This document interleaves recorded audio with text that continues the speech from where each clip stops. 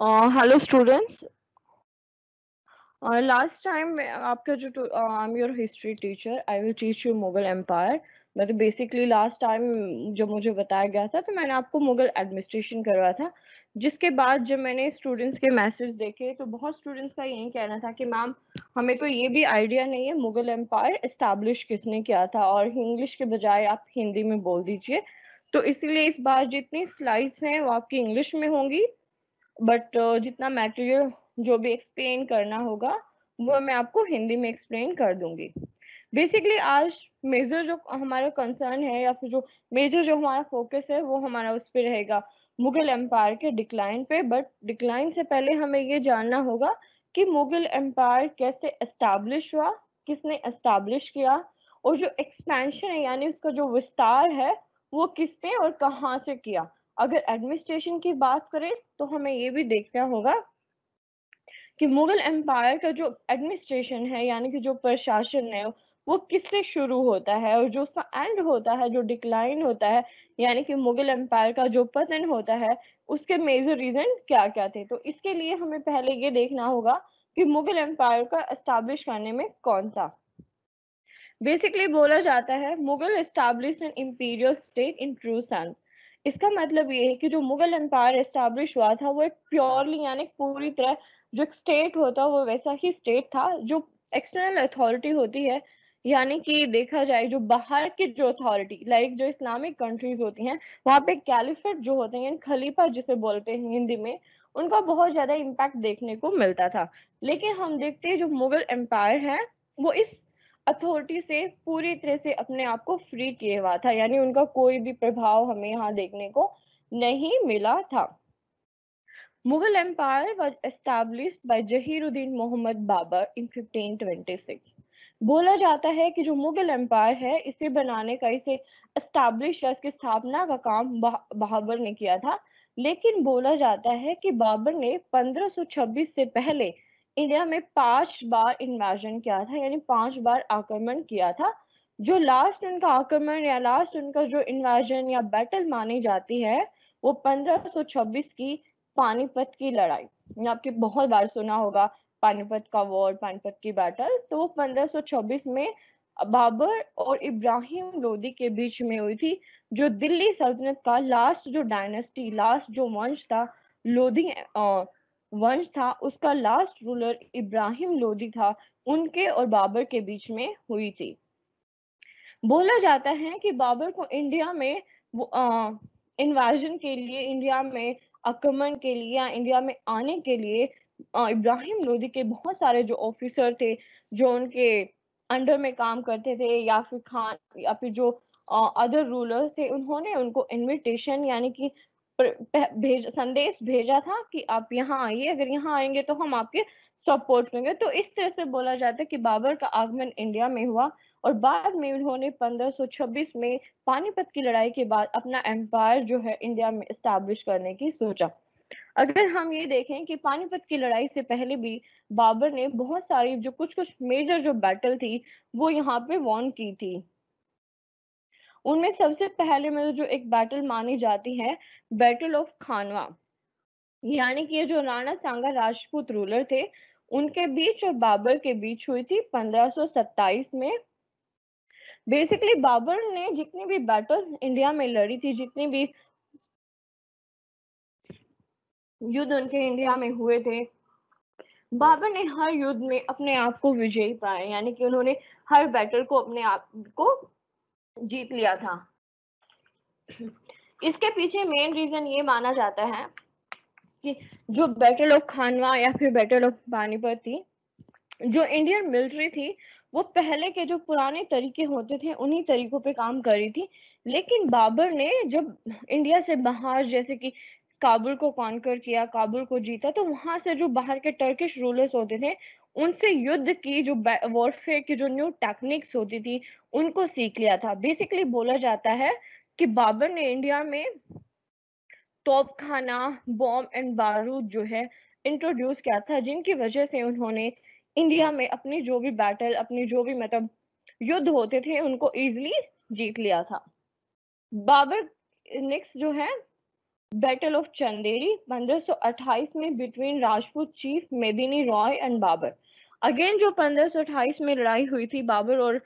मेदिनी राय के बीच में, इसमें भी बाबर विजयी हुआ था। इसके बाद 1530 में बाबर की आगरा की आगरा में डेथ हो गई। उस टाइम उन्हें आगरा में ही दफनाया गया था। इसके बाद जो नेक्स्ट रूलर बनता है वो है हुमायूं, जिसने 1530 से 1556 यानी कि 1536 से 56 तक अब रूल किया था। हुमायूं बेसिकली बोला जाता है कि जब बाबर की डेथ हो रही थी तो बाबर ने बोला था हुमायूं को कि you should divide your empire among your brothers इसीलिए बाबर, इसीलिए हुमायूं ने अपना एम्पायर जो है वो तीन पार्ट्स में डिवाइड किया। अपना जो बड़ा भाई कामरान हिंदार एंड अस्करी बेसिकली यही बोला जाता है कि जो डिवीज़न था उसके एम्पायर का करना यही हुमायूं के मतलब अनसक्सेसफुल का एक रीजन रहा, उसकी असफलता का एक कारण रहा है। क्योंकि जब हुमायूं की डेथ हो जाती तो जो अफगान रूल होता है, यानी कि सेसा सुरी, आपने जिसका नाम बहुत बार सुना होगा हिस्ट्री में, सुर एम्पायर एस्टेब्लिश हो जाता है, जिसमें शेरशाह सूरी बहुत पावरफुल रूलर होता है। और सेकेंडली ये बोला जाता है कि हुमायूं का जो करेक्टर था, वो कभी भी एक बैटल को पूरी तरह नहीं नहीं मतलब फाइट करता था। इससे पहले जो बाबर के भाई कामरान एंड अस्कारी अस्कारी होते थे, ये खुद जो हुमायूं के लिए प्रॉब्लम क्रिएट करते रहते थे, जिसकी वजह से हुमायूं को हमेशा इंडिया में एक एम्पायर स्टैब्लिश करने में प्रॉब्लम रही। इवन बोला जाता है कि battle of Chausa and Kannauj ये बिटवीन शेरशाह सुरी एंड हुमायूं के बीच में हुई थी, जिसमें जिसके बाद हुमायूं को 1540 1550 से 1540 से 50 तक वाज यानी कि इंडिया से बाहर रहना पड़ा था। नेक्स्ट जो है बाबर की हुमायूं की डेथ के बाद जो रूलर बनता है 1556 से 1605 में इट वाज अकबर बोला जाता है कि हुमायूं के डेथ के बाद जो रूलर नेक्स्ट रूलर थे, वो अकबर थे। अकबर को ही मुगल एम्पायर का रियल एस्टैब्लिशर माना जाता है। यानी कि जो अकबर है, उन्होंने ही सही मायने में जो मुगल एम्पायर है, उसकी स्थापना की थी। बेसिकली ये सेकंड ये भी माना जाता है कि अकबर एज अ रूलर बहुत फ़ेमस है क्योंकि उन्होंने बहुत सारी ऐसी पॉलिसीज़ अपनाई थी, जिनकी वजह से हिंदू और मुस्लिम के बीच बीच में जो एक गैप होता था, उसको फुलफिल करने की कोशिश की। इसके साथ साथ ये भी माना जाता है कि अकबर जो था, उन्होंने अब बहुत सारे मतलब एडमिनिस्ट्रेशन में रिफॉर्म करने की, यानी कि सुधार करने की कोशिश की। साथ ही उन्होंने जो सोशल रिफॉर्म्स होते हैं, उनको भी करने की कोशिश की। तो हम शुरू से देखते हैं अकबर के बारे में। अकबर का जो जन्म होता है, वो एक राजपूत फैमिली के में होता है, जब वो, जब हुमायूं इंडिया से बाहर जा रहे थे, उन्होंने अपनी जो वाइफ है, उनको उनको मतलब एक राजपूत घर में कुछ टाइम के लिए छोड़ दिया था। तो उनका जन्म एक राजपूत फैमिली में होता है। हुमायूं की डेथ के बाद अकबर का कॉरोनेटेड एट कर्नानौर यानी कि कर्नानौर में उनका फ़र्स्ट टाइम कॉरोनेशन यानी कि राज्यभिषेक हुआ था। अकबर के टाइम पे ही जो सेकंड बैटल ऑफ़ पानीपत पंद्रह में बिटवीन मुगल आर्मी आर्मी जिसको लीड किया था बैरम खान ने and Hemu who was the means soldier और द सेनापति जिसको बोल सकते हो आदिल शाह का। बेसिकली बोला जाता है कि अकबर के टाइम पे जो शेरशाह सूरी है, उनकी डेथ हो चुकी थी और जो अफगान एम्पायर है, वो बहुत वीक हो चुका था। उसका जो नेक्स्ट रूलर था, आदिल शाह, वो शेरशाह की तरह शेरशाह की तरह उतना पावरफुल नहीं था, जितना कि शेरशाह शूरी था। आदिल शाह के साथ साथ ये भी बोला जाता है कि आदिल शाह जो था, वो बेसिकली अपनी जो इंटरनल स्ट्रगल होता है, यानी कि अपने ही एम्पायर के बीच में जो लोग होते हैं, उन्हीं के बीच में स्ट्रगल जो होता है, यानी कि संघर्ष चलता रहता है, जिसकी वजह से एम्पायर बिल्कुल वीक हो गया था। इसके साथ साथ बोला जाता है कि जो आदिल शाह था, जो अफगान रूलर उनका एडमिनिस्ट्रेशन में बहुत कम मतलब इंटरेस्ट रहता था। तो इसीलिए बोला जाता है कि जो सेकंड बैटल है पानीपत की, जो अकबर के टाइम पे हुई, पहली बैटल जो है पानीपत की, वो बाबर के टाइम पे हुई जो तीसरी पानीपत की लड़ाई है, वो राज, वो बेसिकली मराठा और अफगान रूलर्स के बीच में हुई, जो इंडिया के रूलर नहीं, बाहर से आए थे इंडिया में आक्रमण करने के लिए। तीनों पानीपत की बैटल याद रखना। जो सेकंड बैटल ऑफ़ पानीपत है, इसमें 1556 में मुगल आर्मी बैरम खां, जो अकबर का प्रोटेक्टर माना जाता है, यानी कि अकबर उसके कुछ टाइम उसके संरक्षण में रहा था। सेकंड जो हेमो हेमो बोला जाता है कि बहुत ज़्यादा मतलब बहुत बड़ा योद्धा के साथ साथ उन्हें बहुत सारी लड़ाइयाँ जीती थी। लेकिन इसमें पानीपत की बैटल में क्या हुआ कि एक तीर उनकी आँख में जाके लग गया, जिसकी वजह से वो हार गए और मुगल जो है, पानीपत की जो बैटल है, वो जीत गए। Expansion of Mughal empire under Akbar इसमें भी बोला जाता है कि अकबर के टाइम पे जो मुगल एम्पायर है, वो नॉर्थ पूरा नॉर्थ इंडिया एक्सेप्ट मेवाड़ को छोड़ के, पूरा नॉर्थ इंडिया अकबर के कंट्रोल में था। Secondly south India. South India में भी अगर हम देखें, अहमदनगर है और बीजापुर या फिर कुछ और इलाके जो है, उनके कंट्रोल में थे, यानी कि उनके डायरेक्ट में थे। इसमें भी बोला जाता है कि मुगल एम्पायर को एक्सपेंड करने के लिए, फैलाने के लिए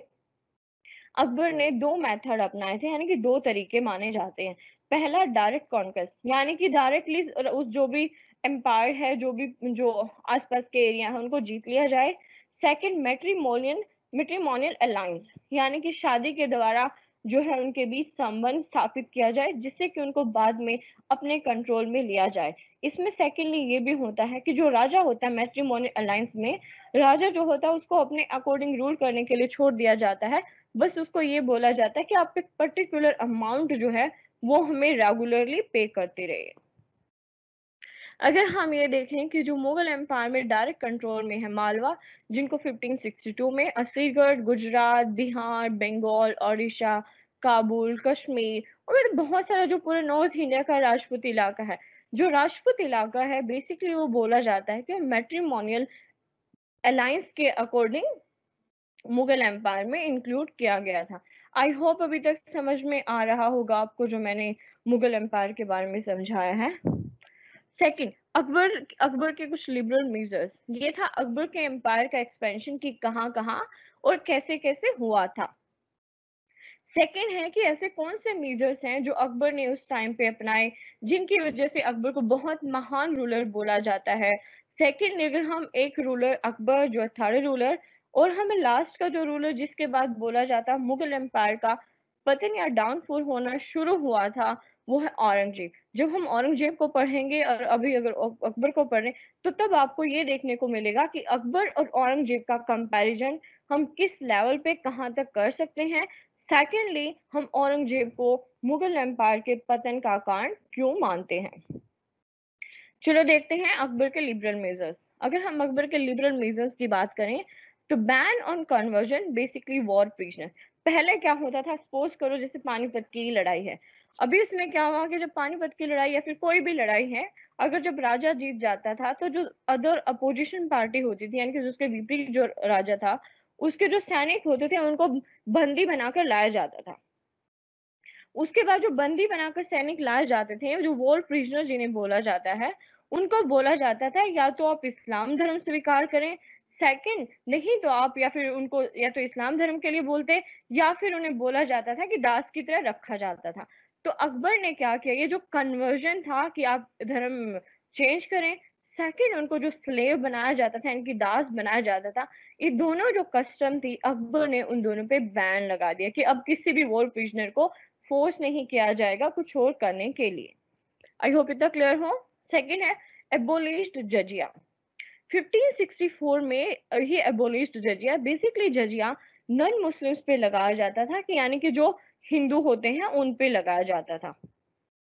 थर्ड जो था इनका open the translation department for translation of Sanskrit and other language इसी टाइम पंद्रह में अकबर ने एक जो मतलब अनुवाद विभाग जिसे हिंदी में बोलते ट्रांसलेशन डिपार्टमेंट को ओपन किया था, जिसका मेन मकसद क्या था कि जो संस्कृत के जो टेक्स्ट होते थे, उनको पर्शियन लैंग्वेज में ट्रांसलेट करना। इससे, इसके क्या बेनिफिट थे? इससे ये होता था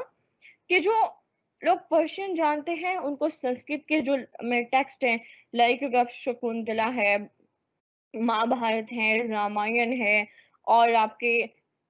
जितने भी एंशियंट टेक्स्ट होते हैं, उनके बारे में उनको नॉलेज होगी, उनको पता चलेगा कि जो हिंदू टेक्स्ट हैं या फिर जो एंशियंट सोसाइटी के हमारे टेक्स्ट हैं, उनमें क्या लिखा गया है, किस तरह की नॉलेज उनमें है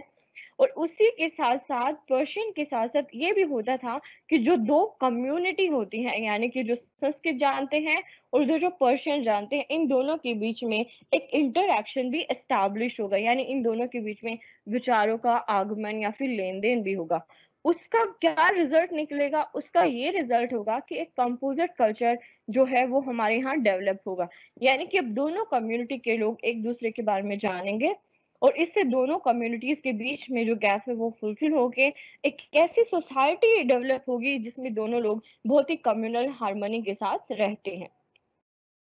जो नेक्स्ट नेक्स्ट अकबर का स्टैम्प था use of beef was forbidden यानी कि जो बीफ है, वो बेसिकली हिंदुओं में मना की जाती है कि आप बीफ नहीं खाएँगे उनके धर्म के अकॉर्डिंग तो इसीलिए हिंदुओं की फीलिंग का रिस्पेक्ट करने के लिए अकबर ने बीफ पे बैन लगा दिया। कि छोड़ दो, इसको नहीं खाएँगे। 1583 में killing of certain animals on particular days was forbidden इसी तरह उन्होंने कुछ पर्टिकुलर डेज़ यानी कुछ स्पेसिफिक जो दिन होते थे, कोई विशेष दिन बना दिया। लाइक अगर हम जैसे मान लें, हम ट्यूसडे को बोल देते हैं कि इस दिन नहीं खाएँगे। इसी तरह से अकबर ने भी कुछ ऐसे मतलब वीक के कुछ ऐसे दिन या फिर महीने के कुछ ऐसे दिन कर दिए, जिनके टाइम पे जो एनिमल्स होते थे, जो खाने के लिए या फिर मतलब मीट के लिए तो उनका जो मारना है वो बंद करवा दिया। नेक्स्ट जो है सोशल रिफॉर्म ऑफ़ अकबर इस सोशल रिफॉर्म्स ऑफ़ अकबर में बेसिकली अकबर ने अपने टाइम पीरियड में जो कुछ बहुत सारे से समाज सुधार के जो काम थे, उनको मतलब करने की कोशिश की। उनमें पहला जो था, अगर हम उस टाइम को देखें ना मतलब जो मेडिवल सोसाइटी है तो हम देखते कि उस टाइम पे चाइल्ड मैरिज बहुत होती थी। तो अकबर ने जो चाइल्ड मैरिज थी, उसको डिस्करेज करने की कोशिश की। मतलब कोशिश किया कि जितना हो सके कम हो सके। एनकरेज विडो रिमैरिज जो विधवा होती थी, उनकी दोबारा शादी करने पर उन्होंने बहुत एम्फेसाइज दिया। नेक्स्ट है, अकबर की रिलीजियस पॉलिसी बेसिकली अगर हम ये देखें कि ये सोशल रिफॉर्म के बाद हमें ये देखना है कि अकबर ने ये सब तो किए के उसने जो धर्म है, उसके क्षेत्र में या फिर धर्म के फ़ील्ड रिलीजन के फ़ील्ड में क्या क्या मेन इंपॉर्टेंट मतलब स्टेप लिए उसके साथ साथ अकबर पे कौन से ऐसी चीज़ें थी जिनका सबसे ज़्यादा इम्पैक्ट हमें देखने को मिला, जिसकी वजह से अकबर ने बहुत ज़्यादा लिबरल हम जो जितने भी धर्म होते थे मतलब हिंदू हिंदू क्रिश्चियंस और जैन, बौद्धिज्म, इन सब के, इन सब के इम्पैक्ट हमें अकबर के ऊपर कैसे देखने को मिलता है? तो इसमें बोला जाता है कि फ़र्स्ट अकबर के जो ऊपर इन्फ्लुएंस था, वो सूफिज्म का था। सेकंड भक्ति मोमेंट का। आप लोगों ने अगर भक्ति मोमेंट पढ़ा होगा तो आपने देखा होगा उस टाइम पे जितने भी भक्ति और सूफी मोमेंट के जो मतलब प्रीचर होते थे, यानी कि जो रिलीजियस हेड होते थे लाइक अगर आपने कबीर के बारे में पढ़ा होगा कि वो कैसे बोलते हैं कि दोनों कम्युनिटीज के बीच में सौहार्दपूर्ण भावना होनी चाहिए, यानी कि कम्युनल हारमोनी होनी चाहिए, जो भी हमारी सुपरस्टिशन जो अंधविश्वास की चीज़ें होती वो नहीं होनी चाहिए। सूफिज्म में भी देखे कि हमने सेम चीज़ें उसी तरह सूफिज्म में भी देखने को मिली थी। बोला जाता है कि अकबर पर्सनल लेवल पे या व्यक्तिगत तौर पे जो सूफिज्म का चिश्ती संप्रदाय था, चिश्ती सेक्ट था, उसको फॉलो करता था। चिश्ती संप्रदाय बेसिकली माना जाता है कि जो सूफी मूवमेंट था, उनमें सबसे ज़्यादा लिबरल सेक्ट माना जाता है, जो दोनों कम्युनिटीज के बीच में कम्युनल हार्मोनी कोऑर्डिनेशन कोऑपरेशन यानी कि उनके सहयोग और सद्भावना पे बिलीव करता था। इसी तरह अकबर पे जो है चिश्ती संप्रदाय का इम्पैक्ट बहुत ज़्यादा हमें देखने को मिलता है। इसके साथ साथ ये भी बोला जाता है कि जो अकबर है, उनके जो ट्यूटर होते थे, यानी कि जो उनको पढ़ाते टीचर होते थे, वो बहुत लिबरल थे। सेकेंडली ये भी बोला जाता है कि अकबर का जन्म जब एक हिंदू फैमिली में हुआ तो वहाँ से भी उन्हें कुछ कुछ चीज़ें सीखने को मिली। सेकेंडली ये भी है कि जो अकबर है, उसके बहुत सारे जो ऑफिसर्स थे वो लाइक हिंदू ऑफिसर्स थे, जिनका जो प्रभाव अगर हम देखें बाद में इन्फ्लुएंस हमें अकबर पे बहुत ज़्यादा देखने को मिलता है। बेसिकली और हिंदू ऑफिसर्स में हम नाम गिन सकते हैं टॉडरमल जिनमें हम देखते हैं कि जब रिवेन्यू की बात करेंगे मतलब कि जो बंदोबस्त है टॉडरमल बंदोबस्त, अकबर के टाइम का बहुत फ़ेमस बंदोबस्त रहा है वो। इसके साथ साथ मान सिंह, बीरबल बीरबल की खिचड़ी भी सुनी होगी कि कैसे बीरबल मतलब कितना इंफ्लुएंस हमें इन लोगों का अकबर पे देखने को मिला तो जिसकी वजह से बोला जाता है कि अकबर ने एक बहुत ही लिबरल पॉलिसी मतलब अपनाने की पूरी कोशिश की। इसी के साथ साथ ये भी बोला जाता है कि अकबर जो था he was very curious person मतलब उसको बहुत सारी नई नई जो चीज़ें होती है, उनको जानने का बहुत शौक होता था। इसीलिए अकबर ने एस्टैब्लिश्ड इबादत खाना, यानी कि hall of worship for religious discussion basically Ibadat Khana मतलब एक जगह बोल सकते हो जहाँ पे अलग अलग रिलीजन के बारे में डिस्कशन होता। स्टार्टिंग में अकबर ने जो इबादत खाना है, उसमें सिर्फ़ जो मुस्लिम थियोलॉजियन होते थे, यानी कि जो मुस्लिम धर्म को जानने वाले इस्लाम को जानने वाले थे, उनके लिए उसके डोर ओपन किए थे। लेकिन उन्होंने कुछ टाइम बाद अकबर ने रियलाइज़ किया कि भैया, यहाँ पे तो जो सिया और सुन्नी जो सेक्ट है, उन्हीं दोनों में मतलब स्ट्रगल चल रहा है एक दूसरे को ये दिखाने के लिए कि कौन सुपीरियर है। इसके बाद अकबर ने आफ्टर टू और three years he open the Ibadat Khana for every religion यानी कि अब अकबर ने डिसाइड किया कि अगर किसी को जानना तो उसको हर धर्म के बारे में जानना होगा। कौन सा धर्म किस चीज़ के बारे में क्या बोलता है? तो तीन या चार साल के बाद उन्होंने इबादत खाना जो है सबके लिए ओपन कर दिया। नेक्स्ट अगर हम देखें रिलीजन स्फीयर में ही हमें अकबर ने पंद्रह उनहत्तर आई थिंक इसे बोलते 1579 में डिक्लेरेशन ऑफ़ महजर ये बेसिकली एक डॉक्यूमेंट था। इसके बीच में जब अकबर ने इबादत खाना खोला था ओपन किया था, तब देखा कि हर कोई अपने आप को सुपीरियर करता है, बोलने की कोशिश कर रहा तो इन सब के बीच का जो डिफरेंस होता है, उनको मतलब वैनिश करने के लिए या फिर खत्म करने के लिए अकबर ने मतलब शेख मुबारक से से सलाह लेके कुछ ऐसा प्रिपेयर करने की कोशिश की, जिससे वो ये प्रूफ कर सके कि जो फाइनल डिसीज़न होगा, वो राजा का ही होगा।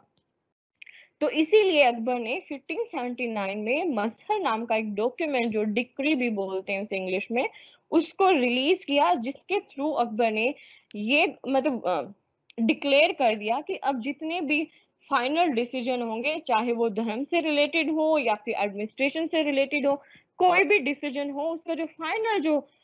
डिसीज़न होगा, वो और वो अकबर का होगा। ना कि किसी धर्म के मतलब हेड है, उलेमा का या किसी और का। आई होप इतना क्लियर हो। नेक्स्ट जो अकबर का स्टेप था 1582 में establishment of Din e Ilahi.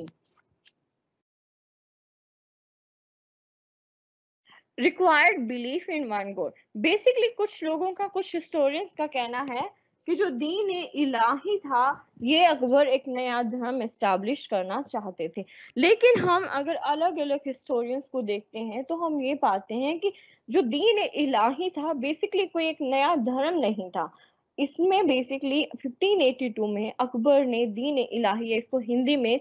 सुलह ए कुल भी बोलते सुलह का मतलब क्या होता है कि अगर किसी के बीच में झगड़ा हो रखा है तो उनके बीच में सुलह करवाना, यानी कि समझौता करवाना। इसी तरह से अगर हम देखें, जो दीन इलाही थी, उसका भी मेन मोटो क्या था? कि जितने भी एग्जिस्टिंग जो धर्म है एग्जिस्टिंग जितने भी रिलीजन है, उनके बीच में एक कोऑपरेशन और कॉलिशन की एक जो पॉलिसी होती है, उसको इंट्रोड्यूस करना। और उसके साथ साथ इसमें ये भी बोला जाता था कि आप एक ही धर्म में बिलीव करो। ज़रूरी नहीं है कि आप इधर उधर भागो, कभी किसी को पूछना है, कभी किसी को जाके बोलना है, कोई उलेमा कुछ बोल रहा है। कोई कुछ बोल रहा उन सब चीज़ों को साइड करके अब सिर्फ़ एक ही गोड में बिलीव करो। इसके साथ साथ ये बोला जाता है, जो दीन इलाही थी, उसमें, उसके कोई स्ट्रिक्ट रूल रेगुलेशन नहीं थे कि आपको ये करना होगा, आपको वो करना होगा, कुछ भी ऐसा नहीं था उसमें। इसके साथ साथ ये भी बोला जाता है कि जो दीन इलाही थी, उसको अडॉप्ट करने के लिए अकबर ने किसी भी रूलर को या किसी भी पर्सन को कभी भी फोर्स नहीं किया था। और इसके साथ साथ अगर हम अकबर की जितनी भी पॉलिसीज़ हैं, अगर हम देखें तो वो सभी की सभी जो अकबर की पॉलिसीज़ हैं, वो सुलह कुल उनके दीन इलाही के ही पर्पज उसी एंगल से फॉर्म की जाती थी, यानी कि बनाई जाती थी, जिनका मेन मकसद था, मकसद होता था कि जो लोग हैं, यानी कि जो जनता है, उसका ज़्यादा से ज़्यादा भलाई या फिर ज़्यादा से ज़्यादा अच्छा किया जाए। आई होप क्लियर होगा इतना। इसके बाद हम बात करते हैं अकबर के रिफॉर्म्स की। अकबर ने क्या क्या मतलब प्रशासन में रिफॉर्म की। क्योंकि अकबर पहला रियल एडमिनिस्ट्रेटर माना जाता है रियल फाउंडर माना जाता है मुगल एम्पायर का। तो ऑब्वियस सी बात है, जो एम्पायर में जो एडमिनिस्ट्रेशन शुरू हुआ होगा, वो बेसिकली अकबर के टाइम से ही हुआ है। पहले तो ये देखा जाता है कि अकबर से पहले इंडिया में मतलब जो रूलर्स होते थे उनकी कोई ऑफिशियल लैंग्वेज नहीं थी। इसी ऑफिशियल लैंग्वेज नहीं थी, इसीलिए अकबर ने एक एक ऑफिशियल लैंग्वेज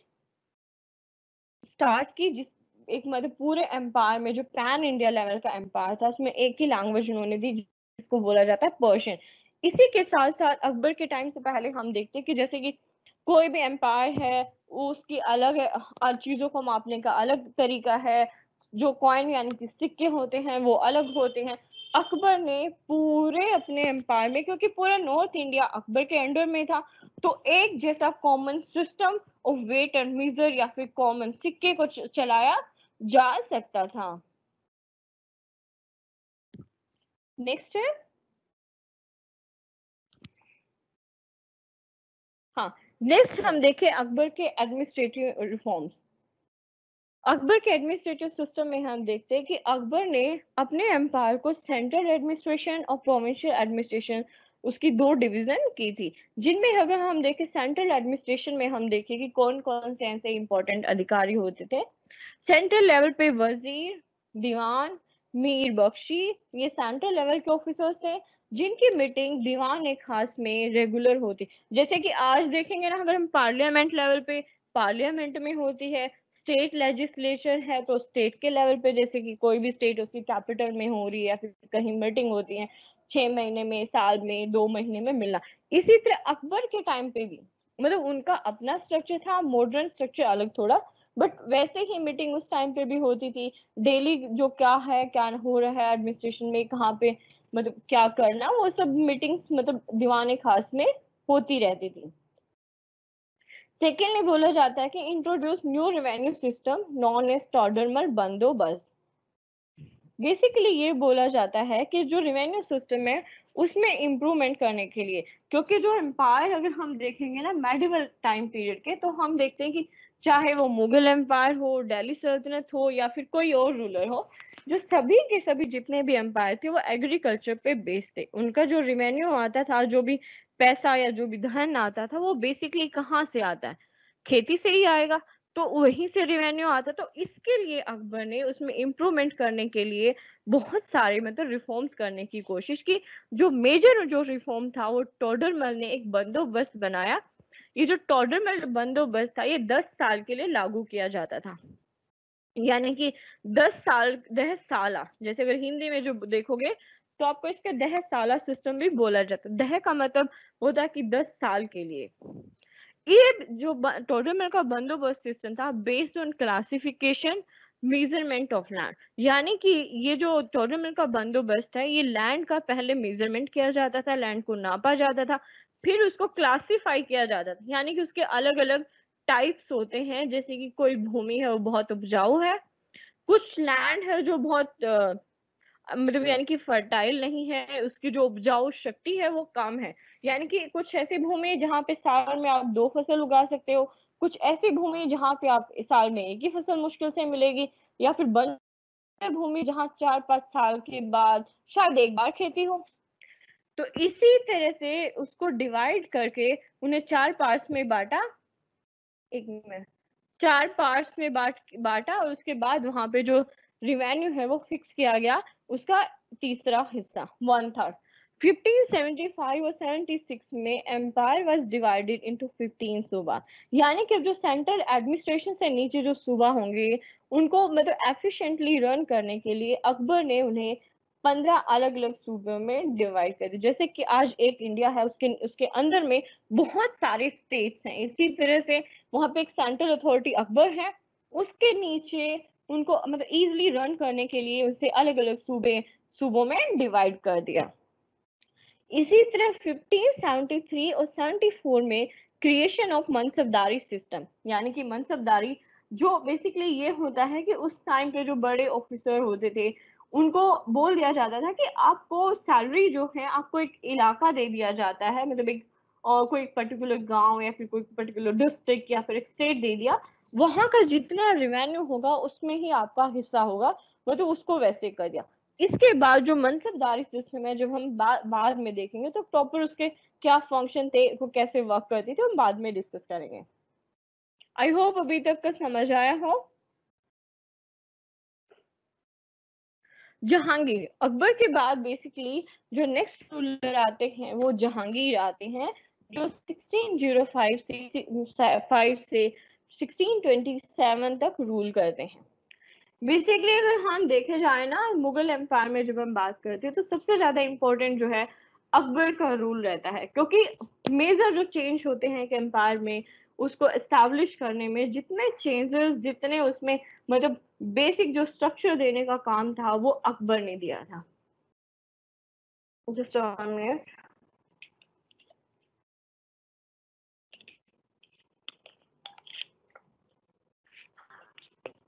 हाँ।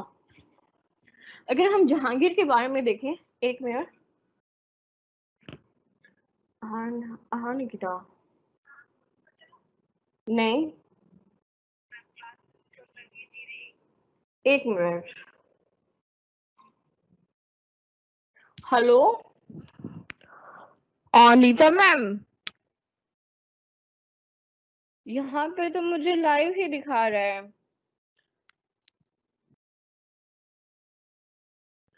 एक मिनट रुको मैं बात करती हूँ नीता मैम से।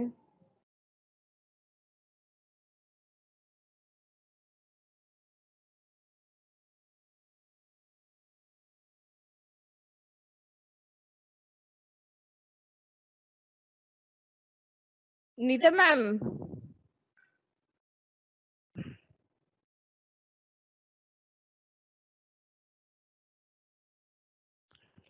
ओ मुझे तो नहीं पता चल रहा। और हमारा जो नेक्स्ट टॉपिक है, जहांगीर 1605 टू 27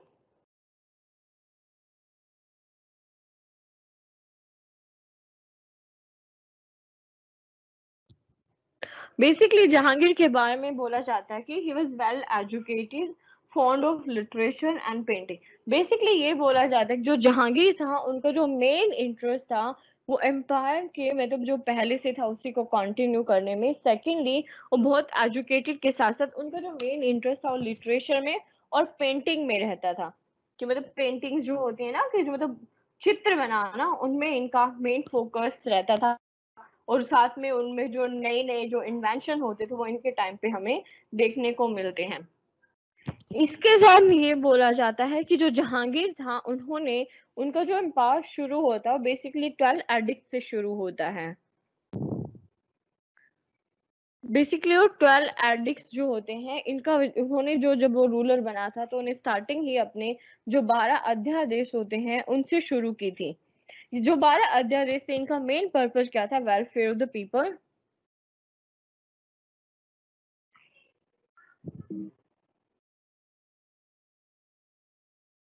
hello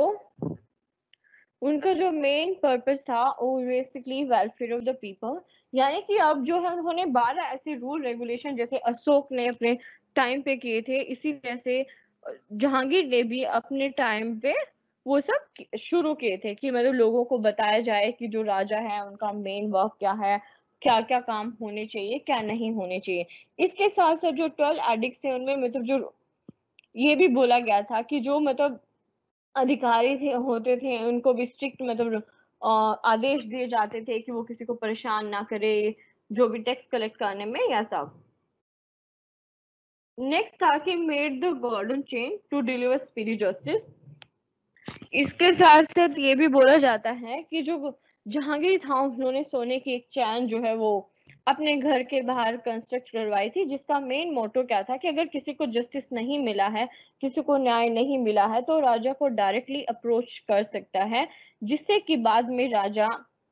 जब उनको तुरंत जस्टिस डिलीवर करके, तुरंत उनको न्याय दे सके। वो मतलब उसके घर के बाहर बनी हुई थी, जिसको आप सिर्फ़ एक बार खींच देंगे तो राजा को पता चल जाएगा। इसके साथ साथ जहांगीर के टाइम पे हमें कुछ रिबैल या रिबैलियन भी देखने को मिलते हैं, यानी कि कुछ जो विद्रोह है वो भी देखने को मिलते हैं। पहला जो रिबालियन माना जाता है, खुसरो जो है Khusrau rebellion son of Jahangir. ये जहांगीर का बड़ा बेटा था, जो खुद एक रूलर बनना चाहता था, इसीलिए उन्होंने अपने जो फादर हैं जहांगीर, उनके अगेंस्ट में रिवोल्ट कर दिया। बाद में बोला जाता है कि इनको स्टार्टिंग में मतलब खुद जहांगीर ने ही अंधा करवा दिया था, बाद में इनको ठीक भी करवाया, लेकिन बाद में जो इनका दूसरा बेटा शाहजहां जो बनता है, उन्होंने उसको मरवा दिया। तो इसीलिए मतलब आप देखेंगे कि जहांगीर जहांगीर के बाद हम देख रहे हैं कि कैसे जो उसका अपना सन है या फिर उनके बीच में कैसे स्ट्रगल चल रहा है राजा बनने के लिए। यानी कि मुगलों में जो बेसिक ये था कि कोई, कौन राजा बनेगा, इसके लिए कोई डेफिनेट रूल रेगुलेशन नहीं था, जिसकी वजह से हमें आगे भी देखने को मिलेगा कि राजा बनने के लिए हमें फैमिलीज़ जो होती हैं मुगल्स की, उन्हीं में इंटरनल स्ट्रगल या इंटरनल कॉन्फ्लिक्ट या फिर झगड़े या फिर वॉरफेयर हमें देखने को मिलेगा। इसके साथ जो खुसरो के रिबेलियन के साथ जो सिख गुरु अर्जुन देव थे बेसिकली उन्होंने खुसरो जब उनके खुसरो जो उनके पास गए थे तो उन्होंने उसको मतलब आशीर्वाद दिया कि ठीक है, जाओ तुम विजयी हो। तो इसकी वजह से जहांगीर जो है, जो फिफ्थ सिख गुरु होते हैं, उनसे बहुत गुस्सा हो जाते हैं, जिसकी वजह से बाद में बोला जाता है कि पहले तो मतलब जहांगीर ने उनको एक हैवी इम्पोज हैवी फाइन यानी कि बहुत ज़्यादा उन पे फाइन लगा दिया था कि आप पे कीजिए। जब उन्होंने फाइन को देने से मना कर दिया तो उन्हें मतलब पनिशमेंट में मतलब बोला जाता है कि उन्हें मार दिया गया। नेक्स्ट जो है कॉन्क्वेस्ट अगर हम ये देखें कि जहांगीर ने कौन से नए इलाके जो है इस टाइम में इंक्लूड किए थे। पहले Kangra, Awadh Bengal even south India और उसके साथ साथ अगर अम्बेर का जो राजा देखें, हम जो राजपूतों में बेसिकली उनके साथ अगर अच्छे टर्म्स किसी ने एस्टैब्लिश किए तो वो जहांगीर था। क्योंकि जो राणा मतलब माना जाता है जो राजपूतों में अम्बेर अम, अम, मतलब ऐस मेवाड़ जो है वो ऐसा इलाका था जिसने मुगलों की सुजर्निटी यानी कि जो अधीनता है उसको एक्सेप्ट करने से मना कर दिया था। Relations with European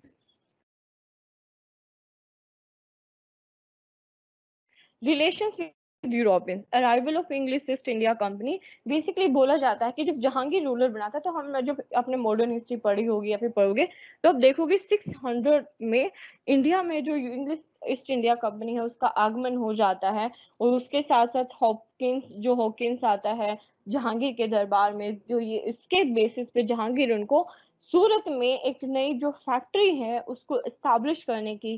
permission Jahangir के टाइम से ही मिलते हैं, जिसे बाद में हम देखते हैं कि कैसे फिफ्टी सेवन में प्लास्टिक का वोर होता है, फिर बक्सर तो उनका जो यूरोपियन का स्टैब्लिशमेंट इंडिया में अगर हम देखेंगे तो वो हमें इसी टाइम पीरियड में देखने को मिलता है जहांगीर के टाइम पे, जिस टाइम उन्होंने अपनी इंडिया में पहली फैक्ट्री ओपन की थी। उसके बाद जहांगीर के लाइफ का एक मेजर इवेंट जो माना जाता है, जहांगीर मैरिज विद नूर जहाँ नूर जहाँ बेसिकली बोला जाता है शेष हाँ होते हैं, उनकी जो उनकी जो विडो होती है, जिससे जो जहांगीर है 1611 में उनसे मैरिज कर लेते हैं। बोला जाता है कि जहांगीर की मैरिज के जहांगीर की नूर जहाँ के साथ शादी के बाद एडमिनिस्ट्रेशन में या फिर अदर चीज़ों में हमें बहुत सारे मतलब चेंजेस देखने को या फिर बदलाव देखने को मिलते हैं। पहला तो ये होता है कि अब जो नूर जहाँ है, वो एडमिनिस्ट्रेशन के साथ साथ दरबार में बहुत पावरफुल हो गई। साथ में उन्होंने जहांगीर के साथ साथ झरोखा दर्शन झरोखा दर्शन वो होता है जब राजा अपने महल के बाहर लोगों को आके दर्शन देता तो नूर जहाँ ने भी उस झरोखा दर्शन में राजा के साथ आना शुरू कर दिया। जो सिक्के होते थे, उनमें जहांगीर के साथ नूरजहां का भी फ़ोटो आने लग गया इनकी उनका भी पोर्ट्रेट आने लग गया। इसके साथ साथ नूरजहां के टाइम पे जहांगीर के एम्पायर में दो अलग अलग फैक्शन क्रिएट हो जाते हैं। एक जो फैक्शन एक जो ग्रुप होता है, जो नूर जहाँ, जिसमें आसफ जहाँ, नूर जहाँ की मदर असमत बेगम, इसके साथ साथ एक जो दूसरा फैक्शन जो शाहजहां का होता है, जिसमें शाहजहां और कुछ और रूलर्स इंक्लूड होते हैं। आई होप इतना क्लियर हो। तो इससे क्या होता है कि जो जहांगीर का एडमिनिस्ट्रेशन है, उसमें बहुत सारे चेंजेस देखने को, बहुत सारे चेंज के साथ साथ बदलाव, और ये भी देखते हैं कि अब जो है जो नूर जो है, उसका इंटरफेरेंस कितना हमें उसमें देखने को मिलता है हस्तक्षेप बोलते हैं उसको। नूर जहाँ के बाद हम देखते हैं कि जहांगीर की मतलब फिफ्टीन ज़ीरो फाइव से ट्वेंटी सेवन के बाद जो नेक्स्ट रूलर बनता है, वो बनता है शाहजहां। बेसिकली जब शाहजहां की बात करोगे तो आपको सीधा सीधा है ताजमहल याद आएगा कि हाँ भाई, शाहजहां ने ताजमहल बनाया था, जिसके बारे में मुझे नहीं लग रहा किसी ने नहीं सुना होगा इंडिया में। सबने सुना होता है कि हाँ ताजमहल कहाँ पे है, किसने बनवाया था, किसकी याद में बनवाया था। You know each and everything basically Shahjahan का जो पीरियड है नोन एज गोल्डन एज मतलब कि जो मुगल हैं, उनका स्वर्ण युग माना जाता है। बेसिकली स्वर्ण युग तो माना जाता है, ठीक वो इसलिए माना जाता है क्योंकि शाहजहां ने बहुत सारे आर्किटेक्चर के फ़ील्ड में बहुत सारी चीज़ों का कंस्ट्रक्शन करवाया था। ओह इसके साथ नेक्स्ट जो है कॉन्कर उन्होंने शाहजहां ने अहमदनगर को कॉन्कर किया बिजापुर को और गोलकोंडा ने ऑल्सो एक्सेप्टेड सुजर्निटी और द मुगल। कि बोला जाता है कि उन्होंने मतलब जो मुगलों की जो अधीनता है वो स्वीकार की थी। इसके साथ साथ ये भी बोला जाता है कि जो शाहजहां है उन्होंने अपने टाइम पे बहुत सारे जो मतलब बिल्डिंग्स हैं उनको बनवाया। उनमें पहला जो मतलब जो हिस्टोरिकल प्लेस है, ताजमहल, मोती मस्जिद इन आगरा, जामा मस्जिद इन दिल्ली दीवान ए खास, दीवान ए आम एंड रंग महल अंदर पिकॉक थ्रोन जो हम बोलते हैं कि बाद में जो नादिर शाह आता है, वो उठा के ले जाता है इंडिया से। उसके बाद रेड फोर्ट इन दिल्ली जो आपने देखा होगा, हर पन फिफ्टीन अगस्त में हमारे प्राइम मिनिस्टर वहाँ से भाषण देते हैं, जो उनकी पंद्रह अगस्त का होता है, या ट्वेंटी सिक्स का होता है। उसके बाद ये भी बोला जाता है कि जो शाहजहां का टाइम पीरियड था, हमें उसमें जो इकॉनमी है, उसमें बहुत सारे फेर बदल देखने को मिलते इसके साथ साथ ये भी बोला जाता है कि जो साज है, उनके टाइम पे बहुत सारे फेमाइन यानी कि अकाल पड़े थे, जिसकी वजह से जो इकोनॉमिक स्ट्रक्चर है, वो वीक हो गया, क्योंकि भैया लगातार आपके अगर अकाल पड़ा हुआ है तो आपका जो रिवेन्यू है, वो कम जनरेट होगा। अब रिवेन्यू कम आएगा तो ऑब्वियसली सी बात है, आपका जो मतलब फाइनेंशियल स्ट्रक्चर है वो बहुत ही अच्छा या फिर स्मूथ नहीं होगा। तो इसी इसके साथ साथ ये भी बोला जाता है कि जो शाहजहां है उन्हीं के टाइम से हमें बैंक करप्सी यानी कि जो घोटाले होते हैं ना करप्शन जो होता है वो देखने को मिलता है। वो इसीलिए बोला जाता है कि जितने भी बिल्डिंग्स बनवाए जाती थी उनको जो कॉन्ट्रैक्ट या फिर जो उनके बीच में होते थे वो इन सब में बहुत घोटाला करने लग गए थे। मतलब यानी कि वहाँ पे करप्शन लीड हो, होने करप्शन दिखना शुरू हो गया था।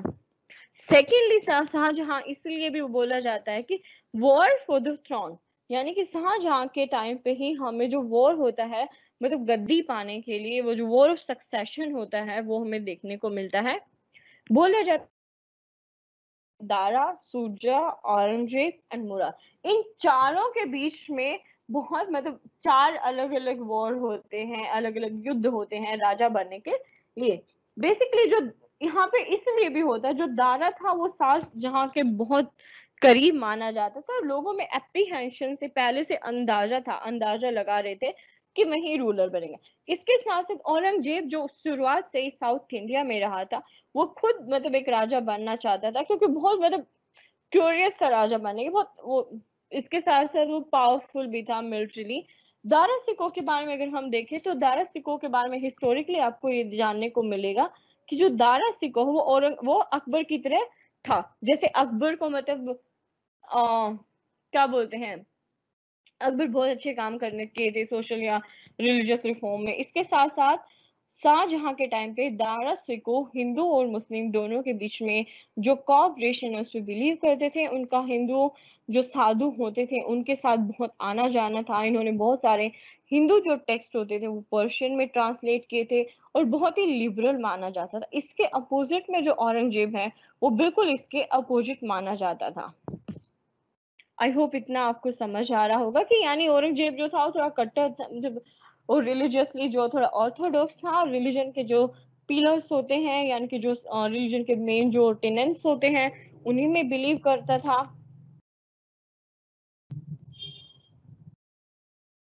अभी मतलब पाँच से सात मिनट के लिए थोड़ा ब्रेक ले लेते हैं, औरंगज़ेब का हो जाएगा। उसके बाद फिर हम डिस्कस करेंगे, औरंगज़ेब के बाद में मुगल जो है, उनका डिक्लाइन क्यों हुआ?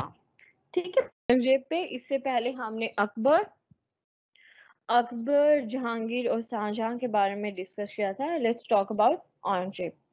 Aurangzeb adopted title of Alamgir. Basically Aurangzeb जब रूलर बना था तो उन्होंने एक न्यू टाइटल अडॉप्ट किया था which was known as Alamgir. यानी कि आलमगीर औरंगज़ेब। एबोलिस्ट मतलब बेसिकली ये बोला जाता है कि जो औरंगज़ेब था, उसको बेसिकली ये बोला जाता है कि he was the reason behind the downfall और behind the decline of Mughal empire due to his reactionary and religious policies यानी कि जो एम्पायर का डिक्लाइन हुआ था, उसके पीछे औरंगज़ेब को माना जाता है, जिसकी जो रिएक्शनरी जो पॉलिसीज़ थी, जिनमें उन्होंने बहुत सारी ऐसी पॉलिसीज़ अपनाई थी जो मतलब एक पर्टिकुलर जो क्लास या फिर एक जो रिलीजन था, उसके अगेंस्ट में थी। सेकेंडली बोला जाता है कि due to his south Indian policy because he spend 25 years in south India मतलब इन्होंने इन्होंने जो 50 साल रूल किया था उसके उसके 25 साल इन्होंने पूरे साउथ इंडिया में स्पेंड किए और 25 साल नॉर्थ इंडिया में। चलो अब आगे डिस्कस करते हैं कि औरंग इसके साथ साथ we will do comparison between Aurangzeb and Akbar कि मतलब दोनों को जो कॉन्ट्रास्ट बोला जाता है कि जो अपोजिट पोल्स बोले जाते हैं कि और ए, एक साइड जो अकबर था वो बहुत लिबरल पॉलिसी थी औरंगज़ेब जो है ही वाज बिट मोर या फिर बिट ऑर्थोडॉक्स कैसे थे। अकबर ने जैसे अबोलिश किया था, उसी तरह औरंगज़ेब ने ही impose certain new taxes even he impose और he reintroduce जजिया abolished the inland transit duties, यानी कि राहदारी। Basically, it was a tax मतलब जो एक स्थान से दूसरे स्थान पर या one place to another place पे जो कमोडिटीज का ट्रांजेक्शन होता था, उनके ऊपर जो टैक्स लगाया जाता था it was known as Rahdari tax and the second tax जो था octroi tax it was known as Bandari tax Hindi और इंग्लिश में सेम होता है. इन्होंने ये जो दोनों टैक्स थे, इन्होंने एबोलिश कर दिए because he wanted to increase the trade activities और इम्प्रूव द ट्रेड इसके साथ साथ जो नेक्स्ट था सिक्सटीन फिफ्टी नाइन में issued to restore the Muslim law of law of conduct. बेसिकली औरंगज़ेब के बारे में बोला जाता है कि 1569 में जब उन्होंने बहुत सारे अध्यादेश जारी किए जिसमें ये जो मुस्लिम लॉ जो होते हैं उनको उनको मतलब लागू करवाना चाहते थे basically Akbar sorry Aurangzeb was orthodox and he was the follower of, of true Islam. He wants to pursue his life or he wants to conduct और he he he want want wanted to मतलब कि जो जितने भी Islamic लो होते हैं, उन्हीं के according he want he wants to rule he wanted to rule मतलब उसी के थ्रू उनका चलना चाहिए। तो इसीलिए ही इशूड और मैनी ऑर्डिनेंसेज जिसके थ्रू लोगों को मतलब इस्लामिक जो लो हैं, उनके अकॉर्डिंग काम करना या उनके अकॉर्डिंग उनका चाल चलना या फिर जो चीज़ें होनी चाहिए। And he discontinue the practice of inscribing the Kalima Kalima on the point basically, जो कॉइन्स होते थे उनके ऊपर एक मतलब जो प्रॉफिट होते हैं, उनकी जो सेइंग होती है, उनको लिखा जाता था that was that is known as Kalima उसको इन्होंने डिसकंटिन्यूड कर दिया it was started by the Akbar and banned or abolished by Aurangzeb. Comparison. And he abolished the celebration of New Year Day Nowruz. Nowruz एक मतलब जो Parsis होते हैं, उनका त्योहार माना जाता है Akbar was very liberal ruler and he started the festival of Nowruz he wanted to celebrate the new year of new year और द न्यू डे यानी कि जैसे आज हम न्यू ईयर सेलिब्रेट करते हैं फ़र्स्ट जैन को इसी तरह से नौरोज भी तो माना जाता था। And Aurangzeb was Aurangzeb was against this celebration because it was not mostly not islamic uh, So the, that's why he abolished the celebration of New Year Day. इसके साथ साथ censors of public morals appointed known as महोत्सव basically मतलब आज के time पे बोल दो कि कोई प्रॉपर ऑफिसर जो होता है मतलब हिज और whose work is to see और to have a look on the people's life how they are behaving in their in their daily life कि वो मतलब is are they working according to the Islamic rule और not ये उनका काम होता था कि लोगों को देखना कि वो मतलब जो रूल है उसके अकॉर्डिंग काम कर रहे हैं या नहीं यानी कि आचरण जो होता है ना लोगों का, उसको देखना। नेक्स्ट जो था ceremony of weighting raising the emperor on his birthday and the practice of झरों का दर्शन also discontinued by Aurangzeb basically जो राजा को तुला, राजा को तोलने की, यानी कि उसके बर्थडे पे उसको जो तुला दान बोलते हैं, उसकी जो प्रैक्टिस है it started by Akbar and discontinued और abolish by the Aurangzeb Aurangzeb का यहाँ भी यही कहना था these practice are anti Islamic और because he is the follower of Islamic Islamic thinking he is the follower of Sharia. तो इसीलिए उन्होंने ये जो पॉलिसीज़ होती थी जो बेसिकली इनको लिबरल पॉलिसीज़ मान सकते हैं हम अकबर की उनको औरंगज़ेब ने बैन कर दिया था या उनको बंद कर दिया था इसके साथ साथ Aurangzeb introduce two percent tax for Muslim traders and five percent for Hindu traders and it was completely discriminatory tax because he imposed 2% for Muslims and 5% for Hindus. He wanted to promote Muslim uh, traders and uh, तो इसीलिए ये बोला जाता है कि जो औरंगज़ेब की जो पॉलिसीज़ थी कि these policies were very discriminatory in nature यानी कि बहुत भेदभाव वाली पॉलिसीज़ थी। And in 1679 he reintroduced the darjia which was earlier abolished by the Akbar. इतना क्लियर आई होप तो ये जो औरंगज़ेब की जो पॉलिसीज़ थी इनकी वजह से जो बहुत सारे सेक्शंस होते थे वो औरंगज़ेब के अगेंस्ट हो गए। यानी कि these policies become the ground for the downfall of Mughal empire second जो हम तो उनका नेक्स्ट जो था जो रिबालियन यानी कि औरंगज़ेब के टाइम पे there were lots of rebellion which had happened In 1669 to 70, Jat peasantry in the region of Mathura arose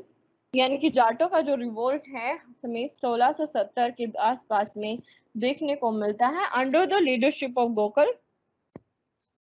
in 1672 the Satnami peasants in the Punjab and the Bundelas under the leadership of Champat Rai and Chhatrasal Bundela and Bundelkhand तो इसके साथ साथ पहला जाटो का revolt then Satnami का revolt फिर बुंदेला जो leaders यानी कि राजपूत जो थे they also rose against Aurangzeb उनके हमें रिवोल्ट देखने को मिला। Basically, these revolts were outcome of the agrarian tension and the reactionary policies of Aurangzeb यानी कि जो उस टाइम पे जो मतलब ये बोला जाता है कि जब Aurangzeb went to south India ना there was lots of problem in the north India तो उनकी वजह से उसके साथ साथ जो एग्रीकल्चर है, वहाँ के जो मतलब टैक्स कलेक्टर होते, जो रेवेन्यू कलेक्ट करते थे, वो बहुत सी ज़्यादा हार्श पॉलिसीज़ अपनी अडॉप्ट करते थे, जिसकी वजह से मतलब पीपल बिकेम एंटी औरंगज़ेब और उसके साथ साथ जो औरंगज़ेब की रिलीजियस पॉलिसी थी like reintroduction of and discriminatory practices in trades so, these were the basic ground. Serious rift in Mughal Rajput alliance by his policy of annexation of Marwar in 1679. Basically अगर हम अकबर की बात करें ना तो Akbar was the only ruler जिनके time पे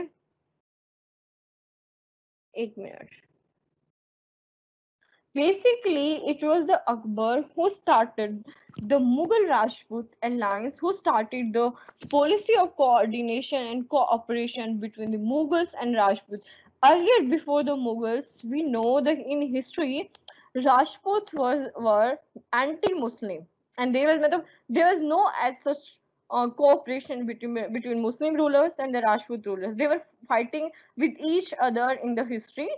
but it was the Akbar who started the policy of uh, basically Sulh Kul, या फिर policy of coordination between the Mughals and the Rajput through his marriage alliance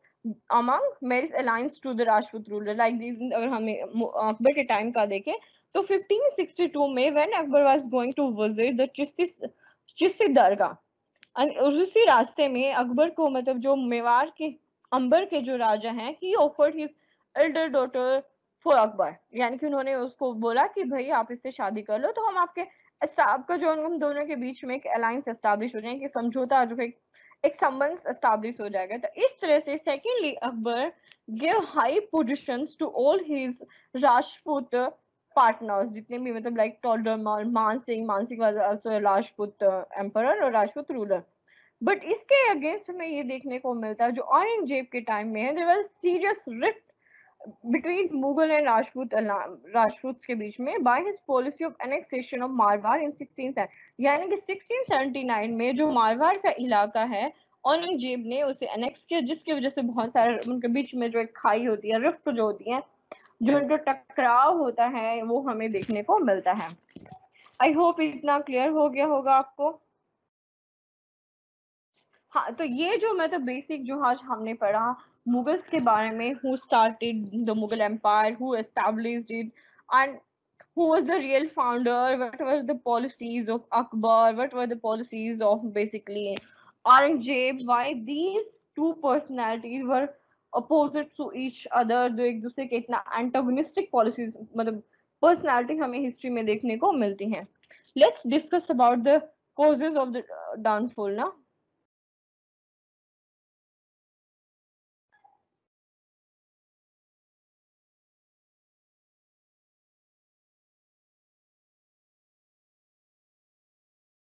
ये सब last class में मैंने पढ़ाया था। हाँ जी।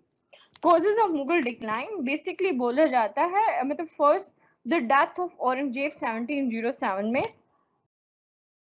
इसके साथ साथ Aurangzeb religious policy were also responsible for the decline of Mughal empire. Because earlier, there was a there was a conciliatory policy among the मतलब हिंदू रूलर्स जो मुगल रूलर्स होते थे, उनके बीच में लाइक और अकबर के टाइम पे हम देखते तो बहुत सारे हिंदू रूलर्स को मतलब हिंदू जो होते थे लाइक टोडर माल मान सिंह इन सबको मतलब Akbar offered them very high position in his empire in his empire in his administration so they became ally of the mughal empire but during the time of aurangzeb we see that there was a completely rift complete rift between the mughal and rajput like when he uh, annexed the marwar तो इसी तरह से बोला जाता है कि जो अकबर, जो औरंगज़ेब की जो पॉलिसीज़ होती हैं, वो मुगल एम्पायर के डिक्लाइन में एक मेजर रीजन का कारण बनती हैं। सेकंड जो उनका ऑल्सो मुगल डिक्लाइन का वीक सक्सेसिव रूलर्स यानी कि मतलब lack of worthy and competent successors after him इसके साथ साथ हम देखते हैं कि 1707 के बाद जो बहादुर बहादुर सेकेंड जो रूलर बनता है, जुल्फिकार रूलर बनता है in this time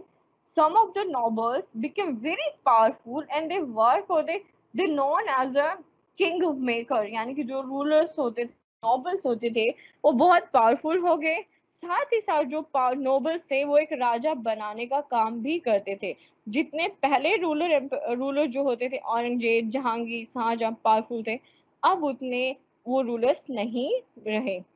absence of any definite law of appointment The war of succession not only led to bitterness, bloodshed, and loss of money and prestige of the empire over a period of time. Secondly हमने ये देखा था कि अकबर के time पे Jahangir also revolted against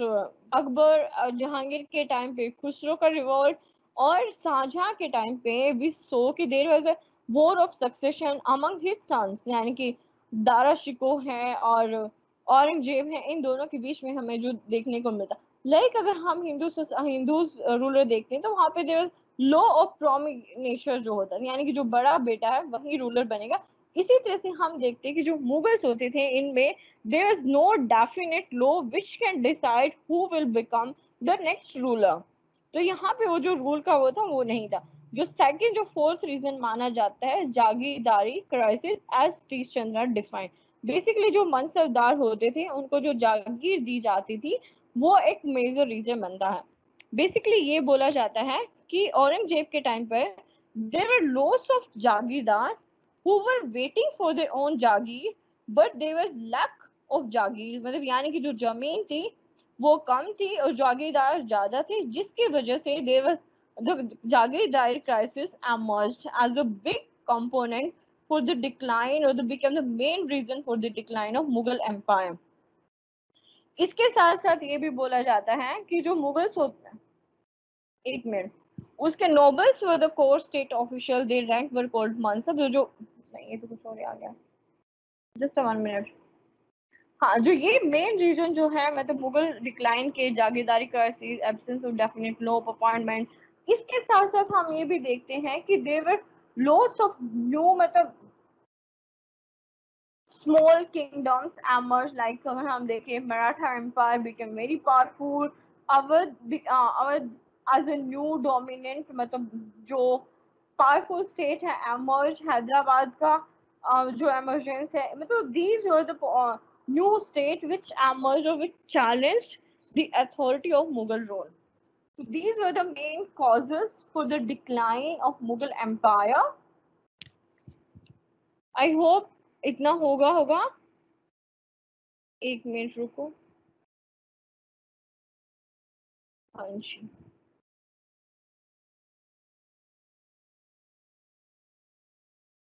हम्म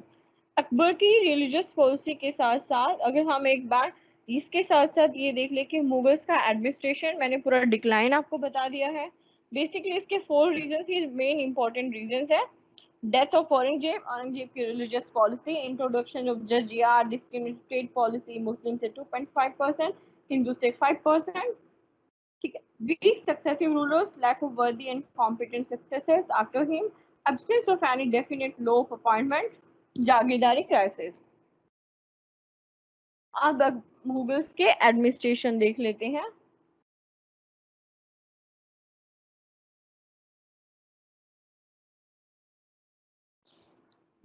basically अगर हम Mughal administration की बात करें तो हम देखते हैं कि Mughal administration was very centralise disposition यानी कि जो मुगल एम्पायर जो था, उसमें जो एम्पर होता था, यानी कि अकबर लगा लो, जहांगीर लगा लो they were the sole authority यानी कि उनके पास सारी अथॉरिटी है। And that system was based on two main pillars, absolute authority of emperor and strength of the army. यानी कि उसके दो पिलर थे। पहला तो राजा और सेकंड जो होता था उसकी powerful army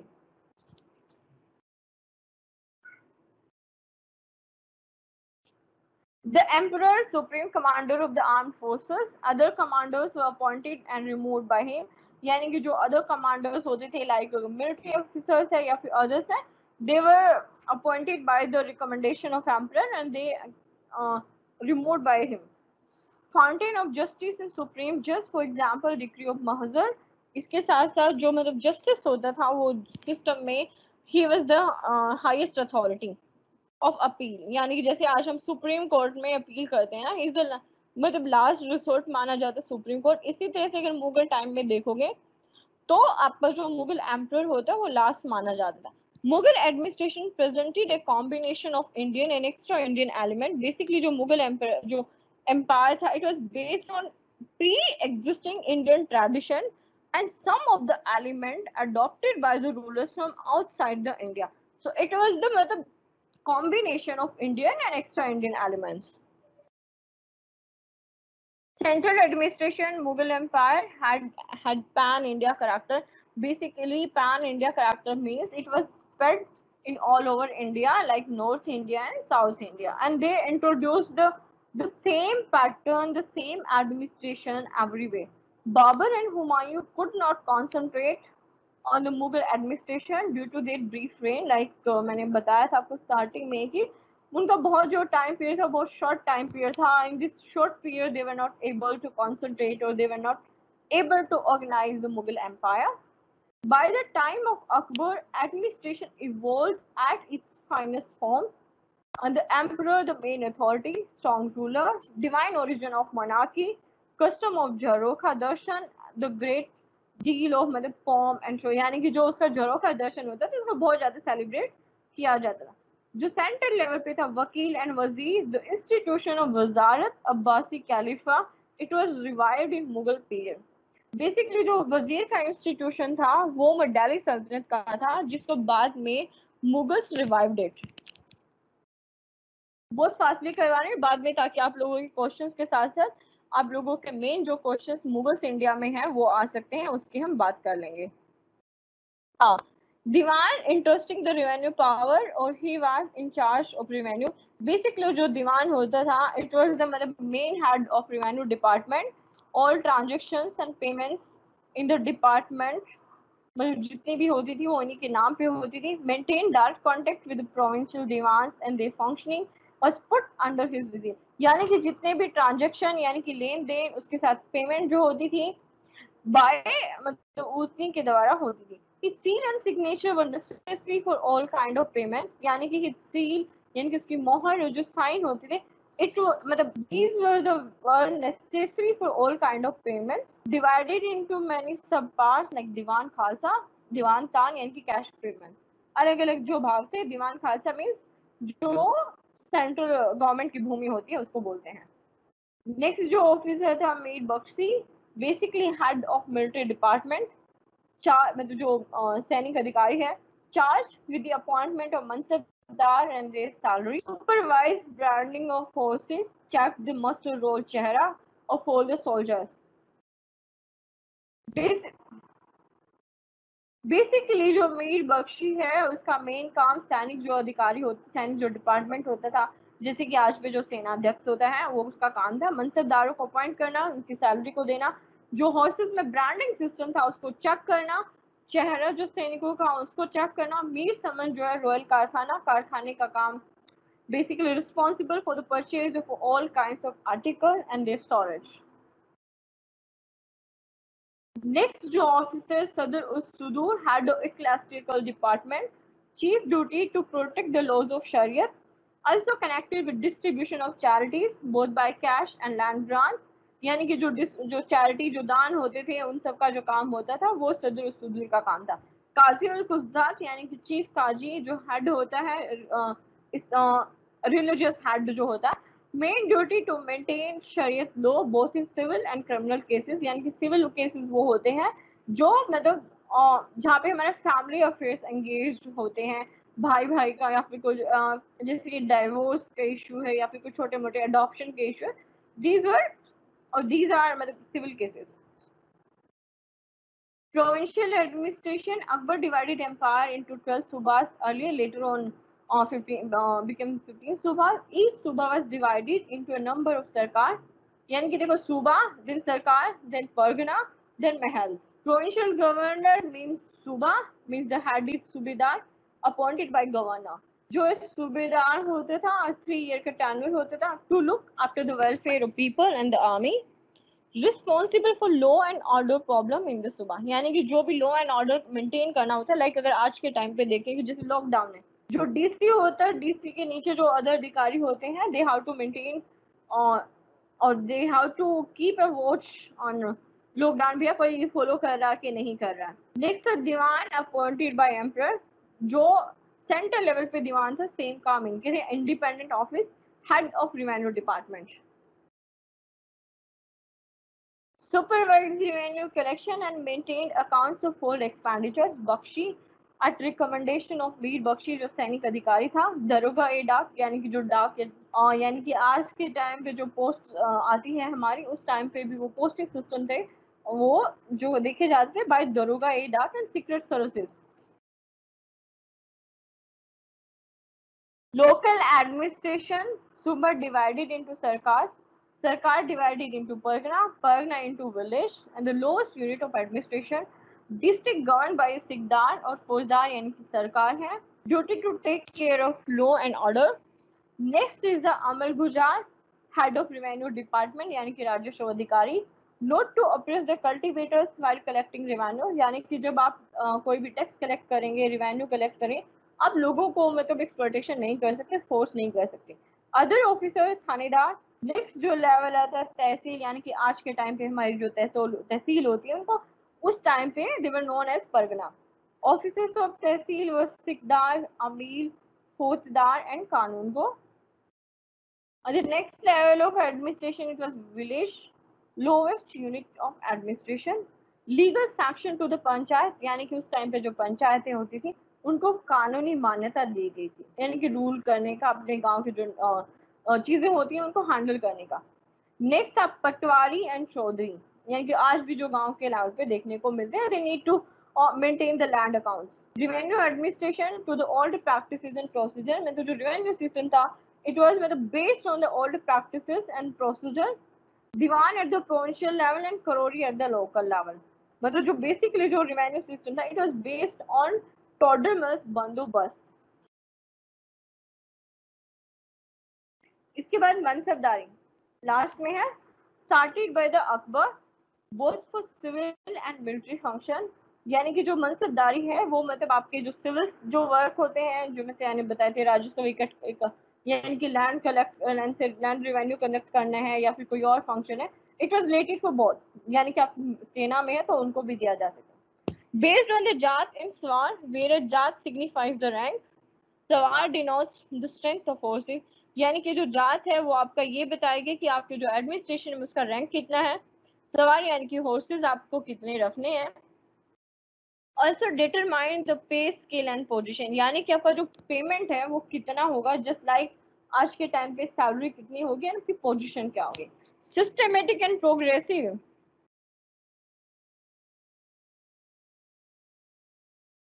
and progressive system to reorganize the army यानी कि ये बेसिकली जो सिस्टम था जो मतलब आर्मी को ऑर्गेनाइज करने के लिए था not hereditary just like iqta system unlike iqta system based on merit and work ये बेसिकली आपके काम और आपके मेरिट पे डिपेंड करता था।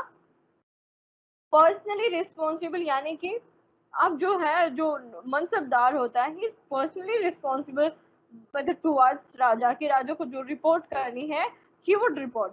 He would give all kind of information. Remove the chances of reward. Basically क्या होता था कि जितने भी अधिकारी होते थे मतलब जो आपके जो इमीडिएट जो रिलेटिव होते थे उनको हाई मनसब दे दिया जाता था जिसके बाद जो रिवॉर्ड के चांसेस होते थे ना वो कम हो जाते थे। Of mansabdari system did not give the, give birth to national army यानी कि जो मनसबदारी सिस्टम है लेटर ऑन जैसे कि हमने औरंगज़ेब के टाइम पे बोला था it became the main reason of decline of Mughal empire like जैसे जागीरदार जो है वो बहुत ज़्यादा हो गए एंड जागीर बिकम लेस तो जिसकी वजह से हमें देखने को मतलब बहुत जागीरदारी क्राइसिस देखने को मिला था। सेकेंड है two third foreigner or immediate reality of the rural यानी कि इसमें जो टू थर्ड पार्ट था either they were foreigner or somehow related to the emperor यानी कि या तो रूलर से, से जुड़े हुए हैं उसकी फैमिली के मेंबर हैं या फिर बाहर के। ठीक है। हेलो सॉरी स्टूडेंट्स मेरे यहाँ लाइट चली गई थी जिसकी वजह से जो हमारा कनेक्शन था वो डिस्कनेक्ट हो गया था तो let's start it again mansabdari system हम डिस्कस कर रहे थे it was started by the Akbar both for civil and military function based on इतना मैं आपको समझा चुकी थी पूरा but let's revise it again based on the Jat and Swar, where Jat signifies the rank and Swar denotes the strength of forces. And basically, Mansabdari was also the uh, did, uh, so determined the pay scale and position, यानी कि आपका तनख्वाह कितना होगा. Systematic and progressive system to reorganize the army. Not hereditary based on merit and work. Like जो इक्ता system आप लोगों ने दिल्ली सल्तनत में पढ़ा था, it was based on uh, मतलब hereditary, but uh, when you will see Mansabdari, it was not based on hereditary. It was based on merit and work. Personally responsible यानी कि जो मनसबदार है, वो डायरेक्ट इट मतलब there would be direct connection between the mansabdar and the ruler remove the chances of revolt वो कैसे है कि अब जिस, जो सैनिक होते थे मतलब जो भी हाई ऑफिसर्स होते थे, उनको मनसब दिया जाता था so that in future they won't do any or they will not organize any kind of revolt against the ruler क्योंकि उनको इतना हाई मनसब दे दिया जाता था कि जिससे वो नहीं करते थे। अगर हम ये देखें कि डी मैरिट्स या फिर weakness of the mansabdari did not give birth to the national army यानी कि जो मनसबदारी था it was changed according to the rulers so there was no as such definite rule and regulation and which can manage or which could manage the mansabdari system uh, out the rule यानी कि जो पूरा system था मनसबदारी का वो according to ruler change होता रहता था। लाइक like जो स्टार्टेड किया था अकबर ने अगर हम जहांगीर के टाइम पे देखे तो Jahangir started monthly payment and do aspa and सी अस्पा और उसके साथ शाहजहां के टाइम पे फिर चेंज और अकबर औरंगज़ेब के टाइम पे हम देखते हैं कि देवर क्राइसिस इन मनसबदारी सिस्टम और देवर क्राइसिस इन जागीरदार सिस्टम जागीरदारी सिस्टम यानी कि अब जिस टाइम पे औरंगज़ेब के टाइम पे हम देखते हैं कि जो जागीर होती हैं वो मनसबदारों को देने के लिए नहीं हो नहीं बची है। यानी कि अब ज़मीन ही नहीं बची है तो क्या ही देगा कोई? सेंटर पे हमने एडमिनिस्ट्रेशन मैंने आपको बताया था सेंटर पे इट वाज रूलर उसके सेंटर के नीचे इट वाज सुबह सुबह बिलो सुबह there was sarkar below sarkar there was pargana was uh, administered by the shiqdar below pargana there was village system जो मतलब lowest unit of the administration chaudhry patwari some major points of mughal administration akbar was the first to develop the provincial admin यानी कि टोडरमल का बंदोबस्त जो revenue में था causes हमने डिस्कस कर लिए थे death of Akbar Aurangzeb Aurangzeb ki religious policy, reintroduction of uh, Jizya in 1679, discriminatory trade policies, Muslims 2.5 and Hindus 5%, long, um, so long, etc. Weak successive rulers, lack of worthy and competent successor after him like Bahadur Shah, Bahadur Shah first, उसके बाद फरुखशियर आलम and जो हम देखते हैं कि मतलब they were weak ruler and secondly according to after Aurangzeb we see कि जितने रूलर्स थे वो वीक हो गए। साथ साथ में जो नॉबल्स थे they became so powerful and secondly they were known as king maker जो मतलब एक के बाद एक राजा बना सकते थे अपने according the absence of any definite law of appointment इसके साथ साथ हम ये भी देखते हैं कि जो मुगल्स थे, उनमें there was no as such defined law कि who will become the ruler after Aurangzeb or after any ruler after any मतलब एम्पर कि कौन नेक्स्ट आएगा? मतलब जो एल्डर सन है या फिर वो एक कमेटी होगी। तो there have no as such definite law of appointment the war of succession not only led to bitterness bloodshed and loss of money and prestige of the empire over a period of time. जैसे कि हमने औरंगज़ेब के time पे I told you कि there was a war of succession among his four sons like Dara Aurangzeb Shuja, इन सब के बीच में। तो मतलब जब रूल जब ऐसे वॉर होगा तो ऑब्वियस सी बात है कि मतलब जो ब्लड शेड है या फिर जो मतलब एम्पायर है, वो मतलब क्रश हो जाएगा। सेकेंडली औरंगज़ेब के साथ साथ ये भी देखते हैं कि औरंगज़ेब के बाद में जो ट्रेजरी थी it became or it was very empty because there was no such money firstly जो शाहजहां था, उसी के टाइम पे हमने देखा कि ही स्पेंड थाउजेंड्स ऑफ़ मतलब lots of money on the construction for the construction of मतलब Taj Mahal Red Fort Jama Masjid and others and other building तो मतलब उसके साथ साथ शाहजहां के टाइम पे भी सो कि was lots of famines had occurred during his rule, जिसकी वजह से रेवेन्यू कलेक्शन नहीं हुआ. सेकेंडली औरंगज़ेब के टाइम पे he spend 25 years in south India